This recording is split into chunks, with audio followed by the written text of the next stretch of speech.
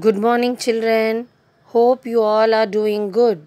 Today we are going to do addition story sums in reader page number 62. So take out your reader, children.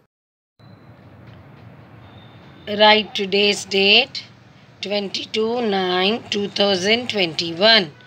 Exercise 8 Addition Story Sums. First one Amit has 5 marbles, Rajat has 4 marbles. What is the total number of marbles with them? Children, 5 marbles Amit has and 4 marbles Rajat has. To, together, how many? 5 plus 4?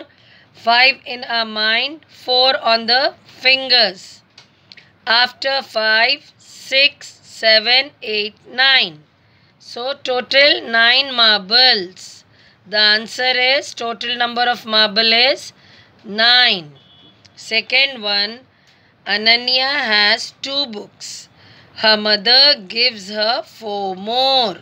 How many books does she have now? Ananya has 2 books. Her mother gave her 4 more.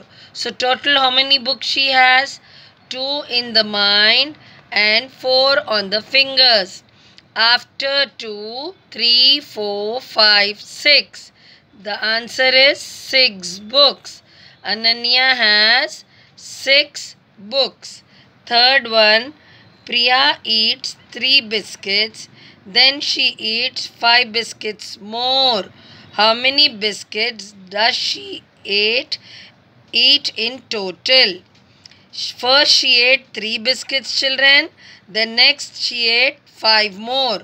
How many biscuits together she ate? 3 in the mind, 5 on the fingers. After 3, 4, 5, 6, 7, 8. How many biscuits she ate? 8 biscuits. Priya eats 8 biscuits in total. Children, this orals. What is 9 plus 0? When we add 0 to the number, the answer is the number itself. That is 9 plus 0 is equal to 9. What is 1 more than 5? 1 more than 5 is 6. I have 2 books in my bag and 3 in my hand. What is the total number of books with me? Two books in the bag and three books in the hand. That is total number of books, five books. Five books. Do this two story sums in your math class work along with your reader work.